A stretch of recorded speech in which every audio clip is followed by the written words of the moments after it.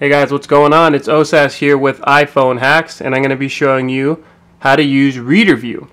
So, with iOS 9, Reader View has added a couple new options, which I'm going to show you right now. So we're going to hop into Safari, and we're going to hop into an article. So as you can see, here is a normal article.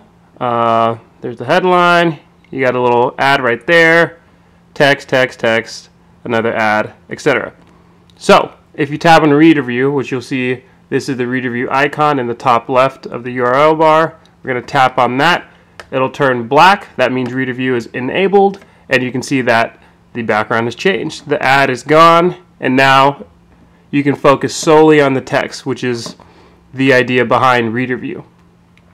Um, the new additions are right here. So tap on the this AA, which is the font icon. We're going to tap on that. It'll bring up a little menu.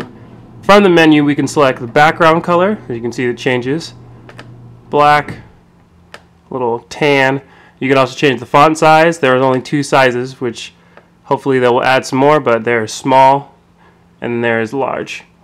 And of course, here you can change the font. The default font for Apple devices is San Francisco, but if you like Georgia or any other font, all you have to do is tap and it will automatically change and every time you do open Reader View, it will save your settings, so you don't have to keep changing it every single time you open it. Um, to disable Reader View, all you have to do is just tap on the icon once more, and Reader View will be turned off.